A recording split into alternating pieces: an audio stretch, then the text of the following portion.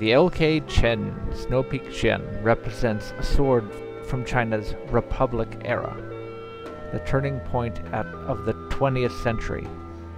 When swordsmanship was shifting, martial arts were on the rise. Duels still occurred, but there was less armor involved. It features an Ace of Spades guard. It has a very long blade, useful for dueling, and is overall beautiful in its design.